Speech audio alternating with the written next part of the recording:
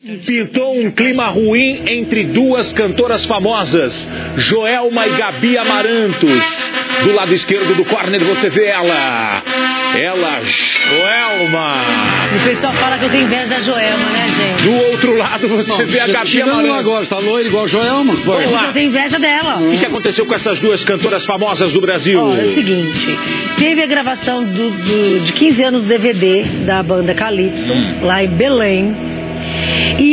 A Joelma e o Chimbinha convidaram vários artistas paraenses, menos quem? Menos quem? Quem? Quem? Quem? Raimundo Nonato. Menos. Gil. Não, Não. Menos a Gabi Amaranto. Ah, não levou a Gabi Amarantos. Não, não levou. E aí eu, sei- eu sei por que eu tenho essa birra aí. Ah. Eu sei. Conta. A história é meio pesada. Pô, Posso pode. contar? Pode. Não, não, mas, a- mas É, ameniza por causa do horário. Claro, claro. Ah. É, olha só, há um, há um tempo aí, uma, uma- uma outra ocasião, a Joelma fez um comentário homofóbico, supostamente homofóbico, dizendo, falando para um fã deixar de ser gay, Ah. etc, etc, aquela coisa toda.